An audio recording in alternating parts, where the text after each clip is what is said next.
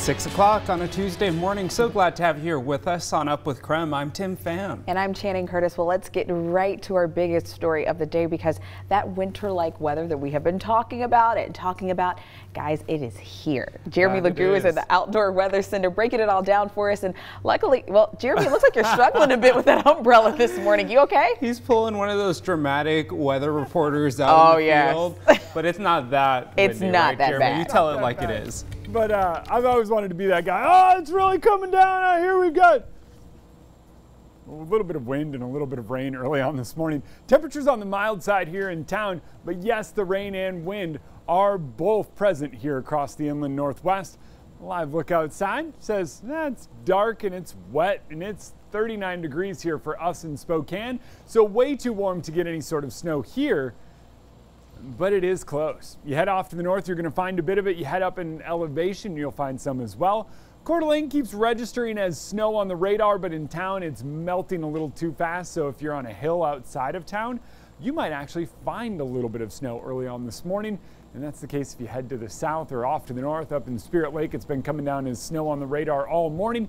Sandpoint on the warm side, a little bit of rain for you. But you head up the mountain to Schweitzer, it's coming down as snow early on this morning. And as you see, Deer Park right on the edge, and it's kind of been that way. And the Y, we're seeing a little bit of what is registering as snow, so I would not be shocked if you saw a few of those snowflakes coming down early today.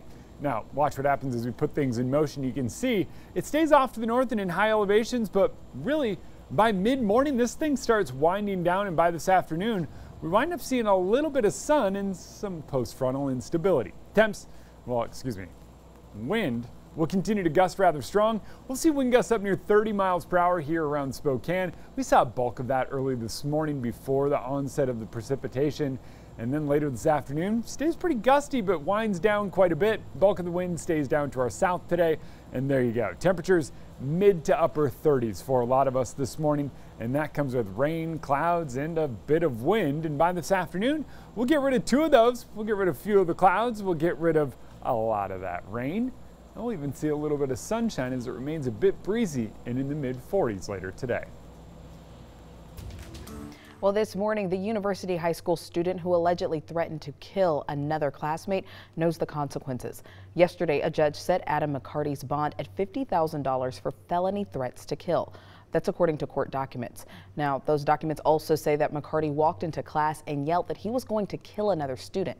During the hearing, Commissioner John Stein said the situation is severe.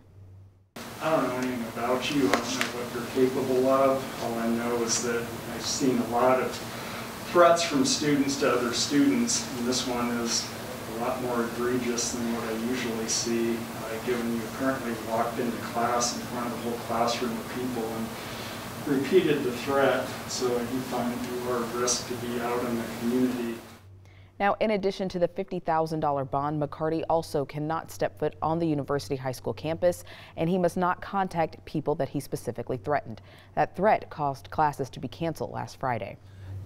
Another big story we're tracking newly released court documents give more insight into a local teen's alleged plans to bomb Medical Lake High School. Last week, a student alerted the school resource officer about a bomb threat after seeing it on social media.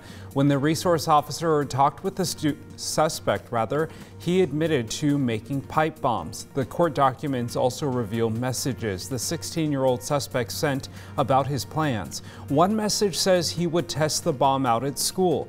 According to investigators, the suspect said he had a bomb in his backpack on the way to school Thursday before Halloween, and he claims he walked the access trail of Medical Lake and threw the bomb into the water to get rid of it. The suspect remains in the Spokane County Juvenile Detention Center as in detectives continue to investigate the bomb threat. We asked Medical Lake School District what communication they sent out to parents about the bomb threat, and we're still waiting for a response.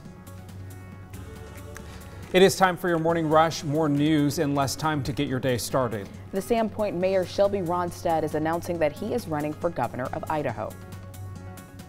ever, Idaho needs leadership. That's why today I'm announcing my candidacy for governor for the great state of Idaho as a Democrat. Shelby is a fourth generation Idahoan. He's currently serving his second term as mayor of Sandpoint, and he's only the second two term mayor in the city's history. Former Idaho State Representative Aaron Von Ehlinger pleaded not guilty to two felony counts of rape. He allegedly raped a 19 year old State House intern back in March. The 39 year old former Republican lawmaker who resigned from his seat during an ethics committee hearing in May was arrested in September. He is currently out of jail on his own recognizance. The trial is set to begin in April. Well, good news, Seahawks fans. Quarterback Russell Wilson is set to play in this Sunday's game against the Green Bay Packers. Now, Wilson re released this video showing his journey from surgery just a month ago, his rehab, and ultimately his return to the field. Head coach Pete Carroll says he wants to see how his quarterback makes it through the week. He's done a ton in the last week, and uh, so he's he, he, did fine today. Got off the practice field feeling great. So we just do one day at a time. But um, he's not out here to do anything but play. You can actually watch the Seahawks play the Green Bay Packers this Sunday right here on KREM 2. Kickoff is at 1:25 p.m. Well, Russell is not the only one making a return to Seattle. Whale watchers spotted about 60 orcas on Monday between Whidbey Island and Kingston. This is both the J and L pods of the southern resident orcas. No sign of any new calves. Earlier, though, this year, three of the orcas in the J pod were pregnant. That's your morning rush. More news in less time. Let us know what's happening in your neighborhood by using the hashtag UpWithKREM on social media.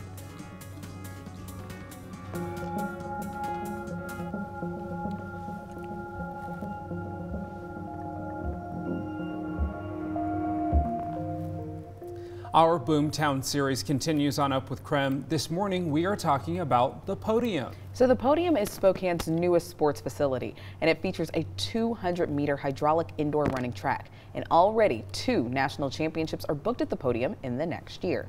Construction of the $53 million facility is now complete and this morning we are getting a first glance inside the brand new world-class venue. So Nicole Hernandez is live there this morning and she's speaking with the event manager for Spokane Public Facilities District. Good morning, Nicole. Can you show us around?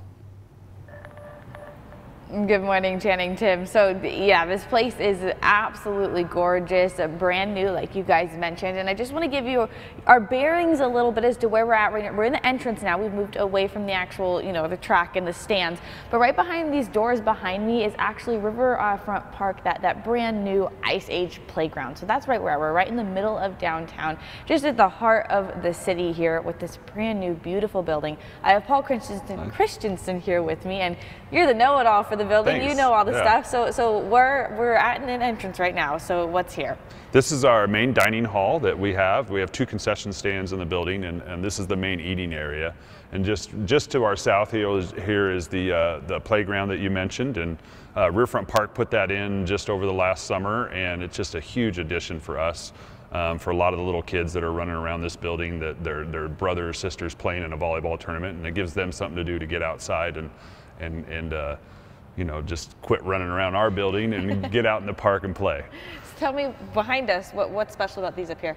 These are the, this is some of the artwork that we've put into this building and uh, these are, this is done by a local artist and uh, we have lots of little names for them, but uh, really neat addition to the space. And at night, it's just a beautiful piece. Uh, I was eating dinner at uh, Anthony's the other day, and you could see these lit up from a long ways away. So it's, it's really neat to see this from the park. How cool, especially because from this view you can even see the pavilion as mm -hmm. well. So uh, this is one of two pieces and soon to be a third for Correct. artwork here in the podium. Uh, and of course, I mean, if we want to walk this way a little bit, out, you can kind of come through these tunnels, entrances. There's five tunnels here to enter into the actual stadium part as well. So this is obviously number five. And as you continue going through, you get to the track, which is absolutely gorgeous. And we'll, we'll, show you more about the track and, and the stands and, and everything that this, like you mentioned, world-class facility has to offer here coming up soon. So I'll send things back to you guys for now. All right, thanks, Nicole. Gosh, Such so a gorgeous beautiful. facility. It really is. I love seeing it on TV, and I can't wait to check it out in person. Absolutely. Now, one of the biggest benefits of the podium is actually its location because the facility is in downtown Spokane. Yeah, so most venues like this are usually on the outskirt of a community, but with the podium, any tourists, visitors, athletes, coaches, they have the opportunity to do their race, go back to their hotel, walk through the park, get something to eat, walk around downtown, or even warm up on the Centennial Trail, which is just outside of the doors. So what sets this facility apart? Well, organizers say this venue will bring major sporting events in Spokane, and they say the arena can host large spectator events and even cater to the specific needs of tournaments. It also has the space to host a number of courts or fields. However, city officials say the arena and convention center can still provide supportive space for the tournaments. Our Boomtown series continues all morning on Up with KREM. Coming up in our next half hour, Nicole Hernandez taking us all around the facility, plus telling us how future events could bring millions of dollars every year to Spokane.